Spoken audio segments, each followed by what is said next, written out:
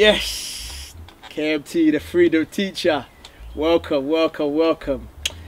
Where do I start?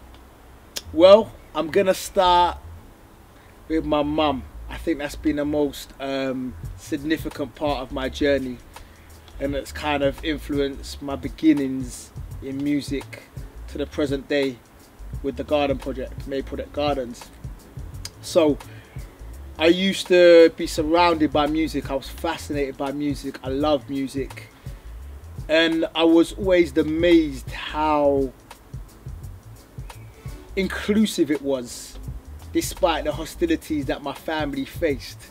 You know, like their experience of racism, you know, economics, poverty, all that, all that drama within that period of time.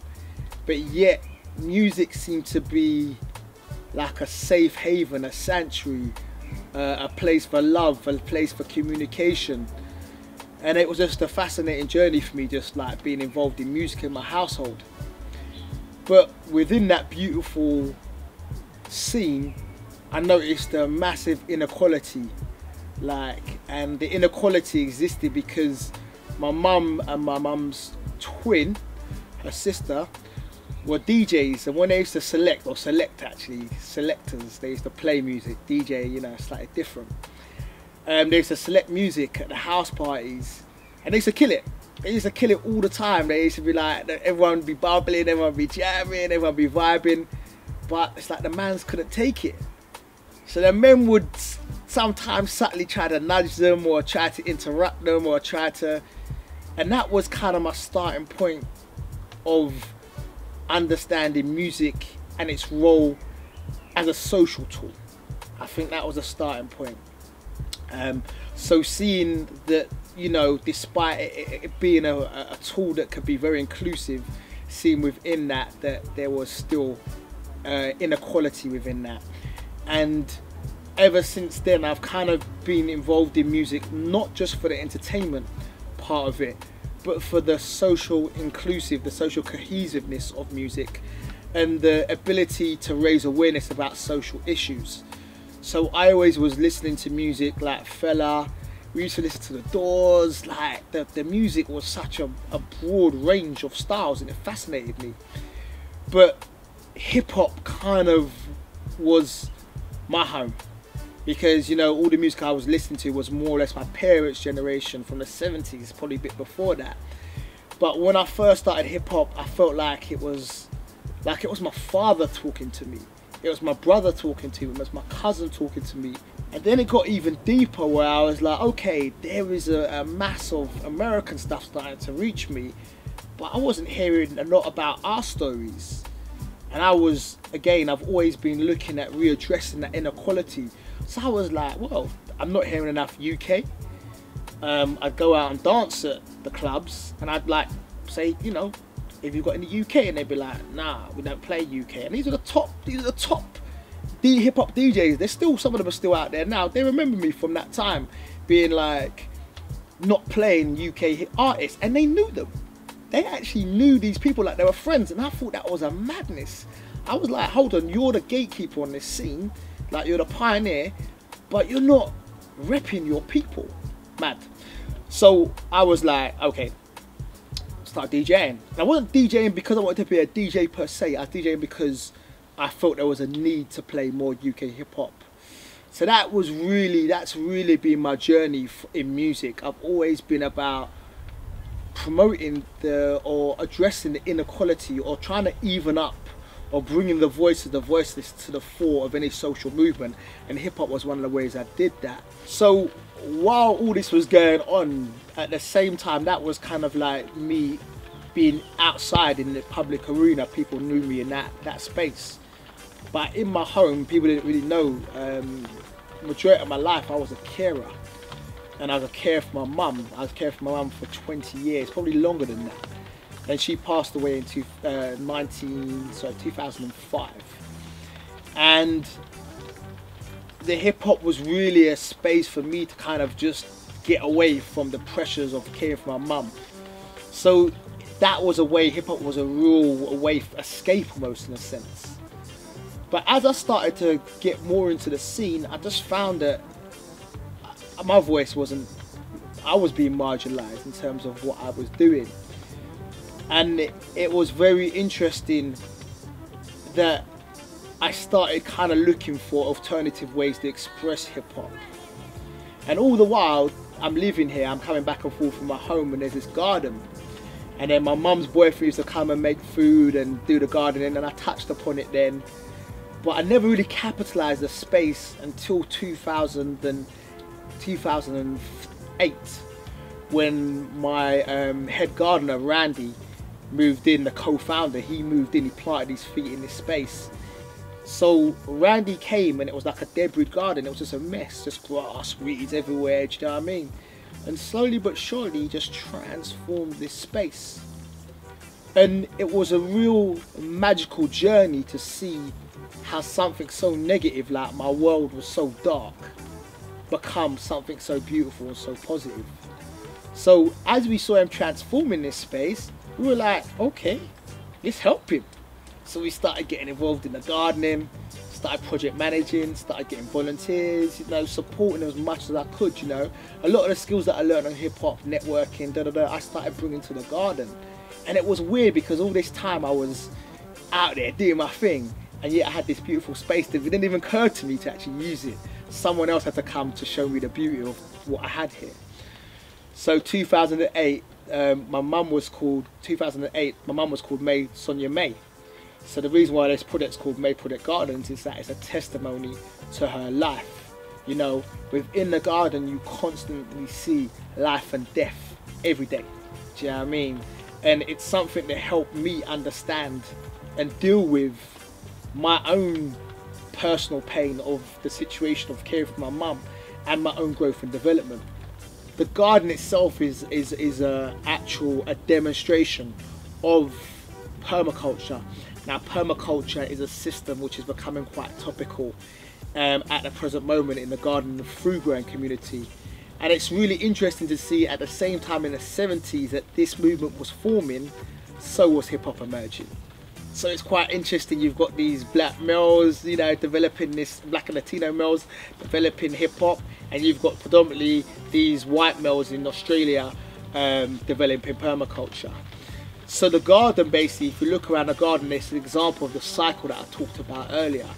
So with the water butts, for example, you have a situation where I think it's about 1%, 1 to 3% of the Earth's um, resources or water is drinking water. Only 1 to 3%. And if you notice in society, we are being we are actually legitimizing commodification of natural resources. Now, once upon a time, you go to water fountain, now you pay for your bottled water. Do you know what I mean? And that's what's happening more and more. So the water butts is basically just showing that you know what we don't have to we don't have to actually have um, that. We don't have to purchase um, water. We can actually capture water from the rain, store it, use it for the plants. All the beds you can see uh, um, are made from mulch, which again is a replication of of um, nature. You know, protective barrier. You know, you can see that protective layer. We use straw and leaves, and that means we use less water, and it protects it from the sun as well. Behind me, just in the background, you can see this beautiful forest garden, which is basically a self-sustaining system. And imagine if we had forest gardens in the city you know, we've got food bank issues, we've got austerity issues now. All we have to do is just, it's not a difficult pro a proposition. Imagine if we, instead of growing uh, just just random stuff, imagine if we put forest gardens where there's green spaces, there's a lot of green spaces. What about in the parks, Hyde Park, putting a forest garden in that could feed the city? You know, these are possibilities and it doesn't take much energy as well. So those are all different examples of um, what we have in a garden as well. There's a lot more, but you can go to the website, uh, which is um, mayproject.org, which is M-A-Y-P-R-O-J-E-C-T org, and that's mayproject.org. If you go to the website, you can find out a lot more. So 2014, uh, one of the key people, Randy, you know, one of the pioneers, the co-founder of the, the project, has gone. So I'm now looking how I'm gonna move this this beautiful space forward. Like how am I gonna do it? How is it possible? Like with my skill set, like coming from a hip hop background. And what I've really been doing is actually spending a lot of time in the garden and spending a lot of time in the space and just observing. And what's been really valuable for me is to see how a lot of what I can see in hip hop is replicated in nature. So, for example, I have a workshop called the Permaculture Cipher or the Garden Cipher, and it's just about that circle. If you look at nature, you'll constantly see circles everywhere. If you see the back of the snail, the back of the snail has got a circle. Do you know what I mean? If you look at the sun, it's a circle. If you look at the moon, it's a circle. If you look at the herb spiral, it's a circle. And what I've learned from being in the garden is that everything tends to be a cycle, nothing goes to waste.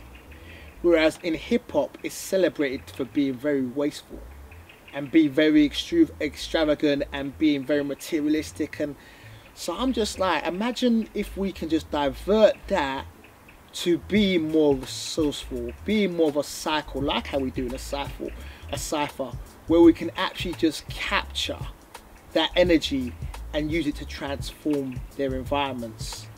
And for me personally, what it's done for me, it's it's rooted me. I think hip hop, as it is, tends to be very reactionary. It's very much you're to blame, this is the fault of the government, but doesn't take responsibility for what it can do.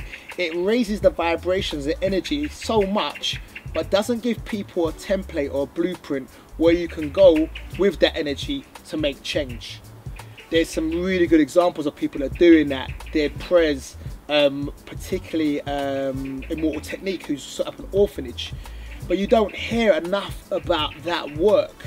You hear more about the the anti-establishment rhetoric, and very appropriate because you know there's injustice. But how about we just take some of that responsibility and power to change our own spaces? Let's take that power back from being reactionary to being proactive, to being creative.